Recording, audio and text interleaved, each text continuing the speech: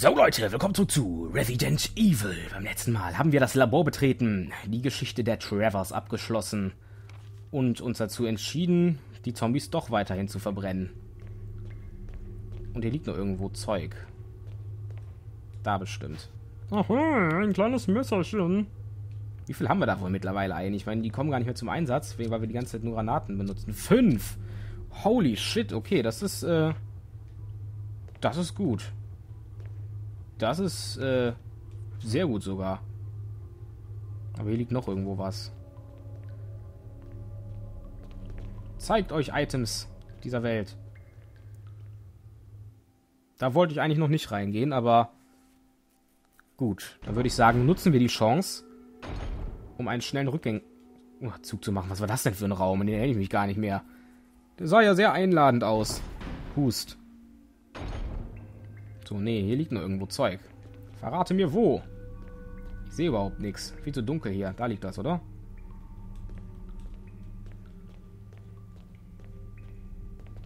Item? Irgendwo? Item anywhere? Stimmt hier irgendwo. Ich habe es nur nicht gefunden. Ah, sieh mal eine an. Jo, ach, jetzt habe ich mitgenommen. Verdammt, das wollte ich gar nicht. Ja. Ja, ja, ja. Gut, gehen wir erstmal hier rechts lang. Ich hätte gerne eine Karte von dem Gebiet. Wäre schön. Dann wüsste ich nämlich, äh, mich ein bisschen besser zu orientieren. Und bitte diesmal nicht wieder, wenn wir schon fast fertig sind. Das wäre reichlich asozial. Da, da liegt ein Medikit, das sehe ich, aber liegt da noch was? Medizinische Geräte wurden anscheinend nach einer Operation zurückgelassen. Ja, zum Glück nicht während.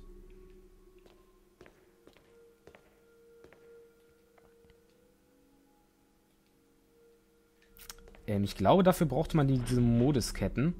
Dann waren das also nur drei. Ich dachte, es wären vier. Na gut, zwei haben wir ja schon mal. Das ist ja wunderbar. Hm. Das ist jetzt allerdings nicht so wunderbar. Gut, da können wir nichts machen. Hier war noch eine Tür. Sehe ich jetzt erst. Ach da, tatsächlich. Tatsächliche. Öffne dich, Sesam. Wer ist dieser Sesam schon wieder? Ist das? Etwas, was ich nicht tragen kann, offensichtlich. Ich erinnere mich. Jo, an dieses Rätsel erinnere ich mich. Das sind es dann auch, ne? Gott, wie viele Plätze brauche ich denn frei? Gekritzelt, hihi, Zettel. Zum Öffnen der elektrischen Tür müssen die internationalen alphabetischen, äh, alphabetisch geordnet werden. Nicht, da stand nicht international, schon irgendwas anderes.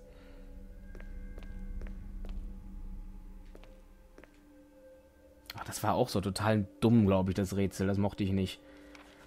8. Juni 1998. Meine liebe Ada. Ada? Okay. Wenn du diesen Brief erhältst, bin ich nicht mehr der Mensch, den du einst kanntest. Heute erhielt ich die Testergebnisse. Ich war nicht überrascht, dass ich positiv bin. Es treibt mich an den Rand des Verstandes, wenn ich an mein bevorstehendes Schicksal denke. Ich würde alles geben, um nicht einer von denen zu werden. Soweit ich weiß, bist du nicht infiziert. Ich hoffe, dass es nicht so weit kommt. Aber falls du wirklich die letzte Überlebende sein solltest, hole bitte das Material aus dem Raum für visuelle Daten. Aktiviere deinen Selbstzerstörungsmechanismus des Hochspannungsraumes und flüchte von hier. Bitte unternimm alles in deinen Kräften Stehende, um diesen Unfall publik zu machen. Falls noch alles normal funktioniert, kannst du sämtliche Schlösser über das Sicherheitssystem öffnen. Ich habe das Terminal im kleinen Sicherheitsraum eingerichtet, sodass du dich unter meinem Namen mit deinem Namen als Passwort anmelden kannst. Unter meinem Namen und mit deinem Namen. Okay. Du brauchst ein weiteres Passwort, um die Tür in der, Ka äh, Keller Stage, Kelleretage 2 zu öffnen, wo der Raum für visuelle Daten ist. Als Sicherheitsmaßnahme habe ich das Passwort in einem Röntgenbild verschlüsselt. Ich kenne dich und bin sicher, dass du es schneller rausbekommst. Ich habe eine letzte Bitte an dich. Ich hoffe, du brauchst mich in diesem Zustand nie zu sehen. Da falls du mir meine schreckliche Form begegnen solltest, erlöse mich bitte von meinen Qualen. Ich hoffe, du verstehst mich. Danke, Ada. In Liebe, John. John Ada. Ja, Benutzername und Passwort für die ganz Blöden. Haben wir verstanden. Gut, ähm, hier kann ich jetzt allerdings noch nichts machen, weil ich natürlich wieder mal keine ähm, Items zur Verfügung, äh, keine Slots zur Verfügung habe, weil Chris natürlich sich zu fein ist, sich meine größere Tasche zu kaufen. Hm, aber Ada, das war doch die eine aus Resident Evil 4, oder täusche ich mich da gerade komplett?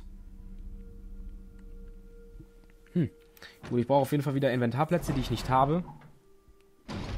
Und denke, werde die Chance nutzen, jetzt erstmal mir selbige da zu machen.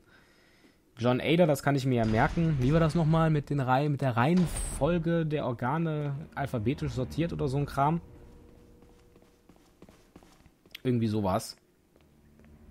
Wenn wir schon mal dabei sind. Dieses scheiß Kerosin. es nimmt Platz weg. Es ist einfach nur da und nimmt Platz weg. Habe ich schon gesagt, dass es Platz wegnimmt? Ich weiß nicht. Dann sage ich jetzt, es nimmt Platz weg. So. Ähm, ja, dann lege ich mal kurz alles ab hier, damit ich auch gleich alles mitnehmen kann. So. Nee, andersrum. Gut. Ähm, muss ich irgendwas mitnehmen noch? I don't think so. Kann ich, könnte ich eigentlich, was mir gerade auffällt, jetzt nochmal zurückgehen? Also so zurück zu, äh, zur Villa? Müsste ich dann wieder die CD wechseln oder geht das einfach nicht mehr? Weil man, man findet ja eine Diskette in der Villa. Wahrscheinlich müsste man einfach nur die CD wechseln. So, jetzt mache ich hier wieder einen auf Risky, indem ich nur mit Gewehr rumlaufe. Uhuhu, er ist so gewagt, der junge Mann. Er ist so gewagt. Ja, tierisch. Gut, ähm... Da lag auf jeden Fall noch Medikit. Die Röntgenbilder lagen da rum. Gut, wenn wir das gelöst haben, werde ich auch wieder zurückgehen und meinen Scheiß wieder mitnehmen. Denn ich möchte ja nicht so ganz nackt äh, hier durch das Labor laufen. Und natürlich möchte ich auch das Labor 100%, wenn man das denn so nennen kann, abschließen. Also ich möchte jedes verdammte Item mitnehmen. Muhaha. Ja, das ist gut, dass wir jetzt hier ein Heilkit haben zur Sicherheit, so zu, falls mal ganz große Not am Mann sein sollte. Die, die, die, die. Mischung aus zwei Grünkräutern, ja gut. Ja, ist in Ordnung. Gut, dann auf in den nächsten Raum. Wollen wir doch mal das Passwort herausfinden. Das zweite Passwort. Das erste haben wir ja. John Ada. Also John der Benutzername, Ada das Passwort. Und wer hat hier den Schalter gedrückt? Ich hatte es doch rot hinterlassen, den Raum. Röntgenbild mitnehmen. Hier, ja. Und hier liegt noch eins. Yeah, ja.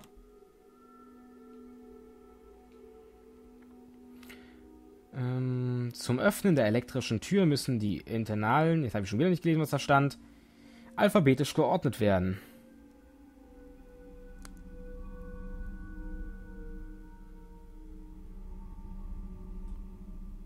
Ich habe echt gerade keine Ahnung mehr, wie das ging. Hängen wir einfach mal. Liegt hier noch was?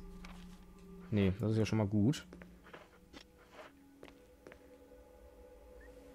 Alex Bechet. Ein Rückgebild hängt an der Wand steht Alex Bechet. Jo. Ed Fischer. Ja, das stimmt ja schon mal. AB und EF. Steht auf den noch was drauf? Gail Holland? Nee. Dann. Clark David. Jupp. Dann kommt der Clark David. War das der Clark? War das der Clark David? Jo. Dann kommt der dahin. Ähm, äh, was war der hier nochmal? Jo, A, C, D, E, F, G, H. Gut, ich glaube, ich habe es gerade schon. Das Rätsel war gar nicht so schlimm. Stimmt, so ginge das. So, ähm. Gail Holland. Gut, jetzt was sind da für Organe drauf? Was? Nee, nee, nee, nee, nee, nee, lass das mal schön so hängen, Fräulein. Ich warne dich. Okay, ähm. Das wird wohl der Darm sein ja, die menschlichen Innereien. Ich finde es. Guck mir das nicht gerne an, muss ich ehrlich sagen. Gut, Darm, Lunge. Nein! Nochmal. Danke. Okay, also nochmal Darm, Lunge. Ist das der Magen oder die Leber? Also was davon ist gemeint? Ich sage jetzt einfach mal der Magen. Das ist das gleiche. Wie die Lunge. Moment, gucken wir uns erst nochmal die Memo an. Also wahrscheinlich ist die, ähm, hier der die Speiseröhre.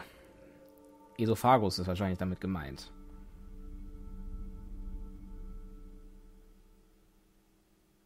Das ist aber sehr ungünstig.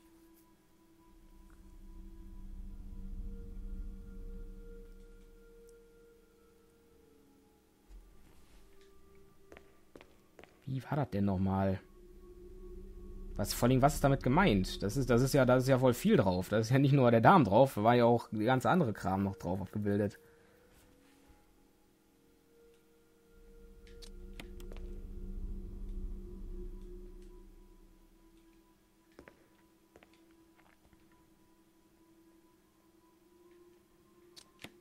Äh, ich sag jetzt einfach mal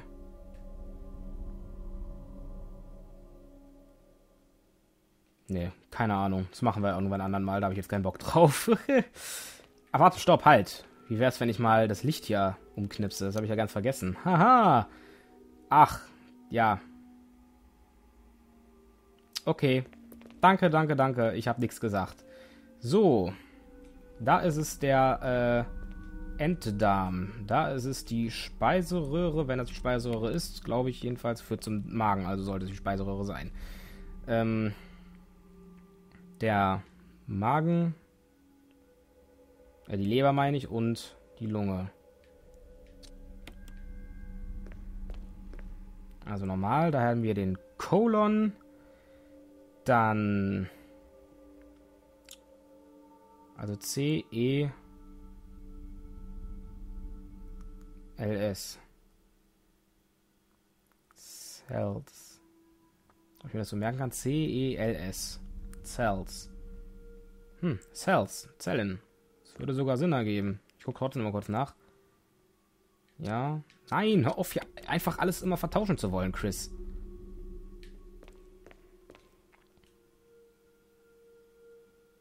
Äh, Quatsch. Ich bin gerade total blöd gewesen. Cell. C-E-L-L. Zelle. So. Vor allem Zelle mit einem L, ne? Ist klar, dummer Trottel. Ja, manchmal möchte ich mir echt gerne ins Gesicht treten können. Okay, ähm, Cell wird das Passwort sein. Ich glaube sogar, das ist richtig. Ich erinnere mich nämlich gerade wieder dran. Ja, ja, ja.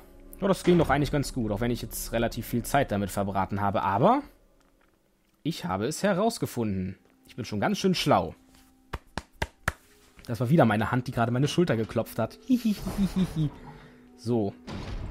Ähm, wollen wir doch mal dahin gehen. Da war nämlich auch noch was. Also der einzige Raum, der offen war, vor allem noch. um zu gucken, was da ist. Wir müssen die ganzen, wir müssen die Modisks-Automaten ähm, finden, die rein zufällig aussehen wie ein Gamecube.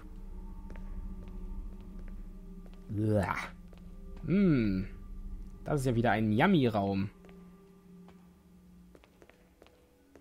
Na Mensch, da will doch jeder durchgehen. Nimm das mit, da liegt was. Ach so, ja. Gut. Haben wir ja noch nicht genug von, ne? Okay, das ist auch nicht nur für eine Granate gewesen. Kannst du mir nicht erzählen. Ach so, da geht's auch noch. Ne, geht's nicht. Hm, da liegt noch was. Ach, das ist der PC hier? Ah. Okay, wir locken uns ein. John. Vor allen Dingen, ich mache das später. Ist ziemlich gut. Ich hätte, gar, hätte das gar nicht später machen können, weil ich das hier gebraucht hätte jetzt. Ada. Nee, das ist ja ein sehr sicheres Passwort, Kollege.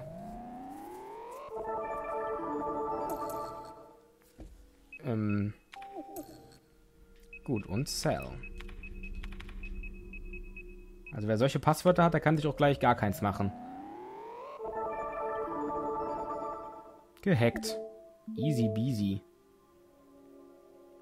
Gut, danke. Ich würde aber den auch noch gerne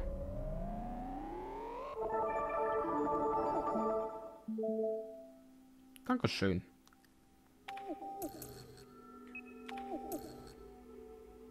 Ähm, was tue ich? Ich bin hier schon fertig. Escape. So, war's das? Ne, hier liegt noch was. Warum liegt hier schon wieder noch was und ich sehe es nicht?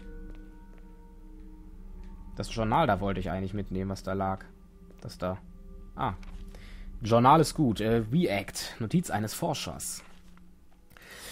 Es gibt begründeten Anlass zu der Vermutung, dass der T-Virus-Mutagen, das T-Virus-Mutagen, so, das Genom im Körper seines Wirts beeinträchtigt. Der Körper des Wirts geht erwiesenermaßen in einen stabilen Ruhezustand über, nachdem er das Bewusstsein verloren hat. Der Virus wird dann aktiv und ändert die grundlegende Zusammensetzung des Körpers. Der Wirt mutiert dabei allmählich zu einem humanoidem Wesen. Wir haben dieses Wesen mit dem Namen Reacts gegeben. Besonders bemerkenswert sind die Geschwindigkeit und die erstaunlichen Muskelentwicklungen. Nach der Umwandlung wird es wendiger und aggressiver. Vier unserer Forscher sind beim Versuch, es zu füttern, bereits ums Leben gekommen. Das Gehege wurde umgehend zum Blutbad. Seit diesem tragischen und barbarischen Unfall nennen wir diese Art Blutköpfe. Ah, die Crimson Heads. Ja. Dieser eben Blutköpfe. Das klingt nicht ansatzweise so episch wie Crimson Head.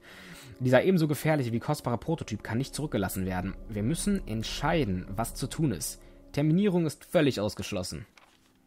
Letztendlich beschlossen wir es zu gefrieren und den Körper im Keller des rückwärtigen Friedhofs einzusperren. Na, erinnert ihr euch noch daran, wer damit gemeint war? Hm, da wo wir die vier Masken einsammeln mussten. Der erste Crimson Head der Geschichte quasi und hier liegt immer noch was. Was zum Teufel? Ich dachte gerade, ich hätte es glänzen sehen. Ah, oh, cool. Ach so, ich sollte vielleicht mal äh, mein... Immer noch, was? Willst du mich verarschen? Bin ich denn blind? Ähm, ich sollte vielleicht mal wieder mein Inventar äh, auffrischen. Also, was heißt auffrischen? Ich sollte mir einfach mein ganzes Zeug mal wieder abholen. Wo ich das gerade hier gesehen habe, eingesammelt habe, ist mir eingefallen. Aha. So, das war jetzt, jetzt aber alles, oder? Danke. Also ich weiß nicht, ob ich das einsam essen wollen würde. Ähm, wenn ich äh, Medizin finde. Ein grünes Kraut, oh wie süß. Ähm, die in so einem Gefrierfach hier rumliegt. Ich weiß ja nicht. Gut, auf jeden Fall haben wir jetzt äh, mit dem Hilfe des Passwortes, was wir natürlich schlau wie wir sind, sofort gelöst haben, die ganzen Türen überall entriegelt. Und ich werde noch nicht mein Zeug holen, weil bevor ich jetzt hier die ganze Zeit wieder hin und her und hin und her und hin und her, hin, hin, hin und so weiter laufe, werde ich doch mal gucken, weil ich meine, komm, wir haben ein Gewehr, was soll uns passieren? Und wir haben Heilung dabei zur Not. Stellt euch nicht so an. So, das war die Tür, die jetzt offen ist. Yes, sir. Und irgendwo noch eine andere Tür, die wir geöffnet haben, die wir jetzt allerdings noch nicht gesehen haben. Also, weil die Karte fehlt. Hier ist ein Zombie, das weiß ich noch. Da liegt Magnum-Munition. Ja, ich glaube, es war echt eine gar nicht mal so schlechte Entscheidung, was die wir da getroffen haben. Komm mal her, Typi. Ist kein Bock?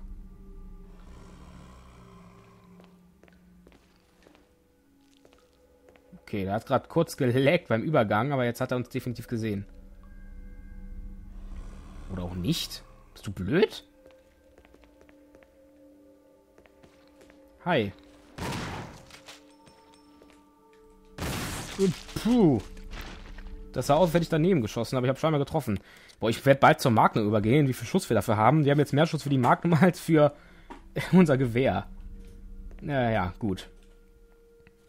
Fax an Säuberungsabteilung. Zu Händen Manager Säuberung von Raccoon Katastrophen Bekämpfungsausschuss. Ausschuss.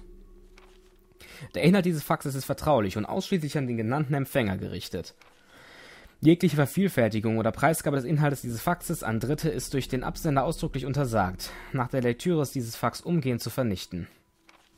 Wir erwarten, dass der jüngste Ausbruch des T-Virus wesentlich mehr Schaden verursacht als ursprünglich angenommen. Daraus ergeben sich mehrere Probleme. Problem 1. Mehr als die Hälfte der Forscher wurde vom T-Virus infiziert und starben. Fast alle Überlebenden dieses Unfalls melden inzwischen Symptome eines T-Virus-Befalls. Problem 2. Auch unsere geheime Sicherheitspatrouille wurde vollständig eliminiert. Es besteht daher die unmittelbare Gefahr, dass unsere, geheim, unsere geheimste Forschung an die Öffentlichkeit dringt. Um einer Enthüllung in den Massenmedien zuvorzukommen, sind unmittelbare Maßnahmen erforderlich. Problem 3. Mit hoher Wahrscheinlichkeit können sich die Objekte innerhalb der Anlage frei bewegen. Es ist daher mit zahlreichen Opfern zu rechnen. So bedauerlich diese Opfer auch sind, so unterstreichen sie doch den Erfolg unserer Forschung. Es ist daher unbedingt zu verhindern, dass unsere Forschungsergebnisse an die Öffentlichkeit gelangen. Als erstes werden wahrscheinlich Polizei und Stars ähm, intervenieren. Wir raten daher dringend zu Maßnahmen gegen sie. Was für ekelhafte Schweine. Und ja, sowas, da liegt, da ist übrigens der erste Gamecube. Ha, süß, oder? Ja, ja, ich weiß. Ähm, ja, was für Schweine. Stars und Polizei. Ja, wir haben ja schon mal den Verdacht gehabt, dass wir da ausgelöscht werden woll soll sollten. Und ähm, diese ekelhaften Umbrella-Typen steckten doch da unter der Decke. So. Ähm, das war's aber erstmal von Resident Evil für heute, würde ich sagen. Im nächsten Part geht es dann hier weiter im Labor. Wir werden sehen, was noch auf uns wartet. Bis dahin, Leute. Ciao.